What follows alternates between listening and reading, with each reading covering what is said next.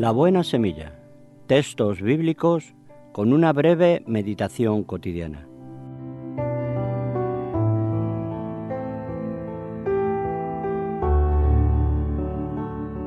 Ediciones bíblicas La buena semilla.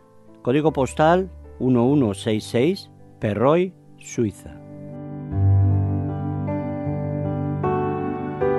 Visita la web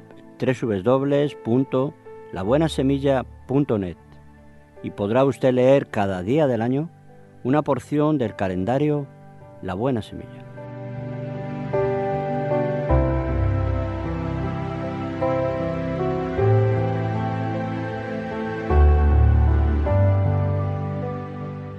Día 24 de agosto.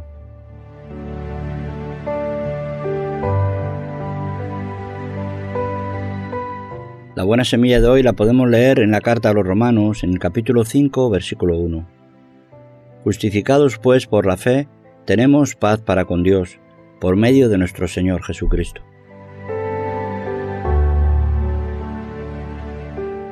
¿Tiene usted paz? Primera parte.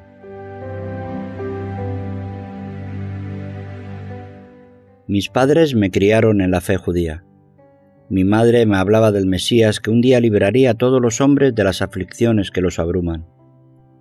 Pero el genocidio nazi había destruido en mí esa semilla de esperanza. Después de mis estudios, la música llegó a ser mi religión. Me convertí en cantante, autor, compositor y comediante profesional. Pronto aparecí en la sala de música del Olimpia, Francia, en la cartelera de los cantantes más famosos. Pero este triunfo no me dio la paz interior. ¿Tiene usted la paz?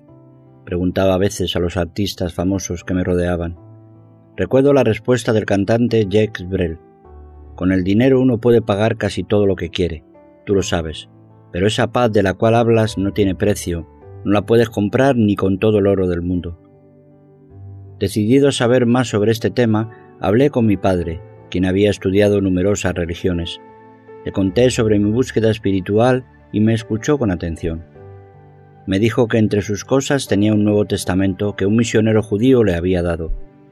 Me sorprendió que un judío hubiera podido ser el promotor de ese libro normalmente rechazado por mi pueblo. Mi padre agregó que para mí tal vez sería una lectura provechosa. Mejor ir directamente a la fuente, pensaba él. Era un hombre liberal a su manera, abierto al diálogo, aunque apegado a las tradiciones judías. Seguí pues su consejo. Mañana continuará.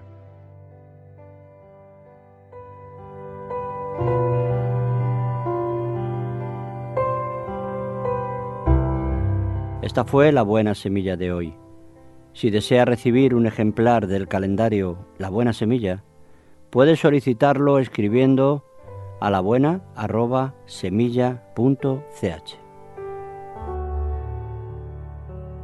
la buena semilla, meditando en la palabra de Dios.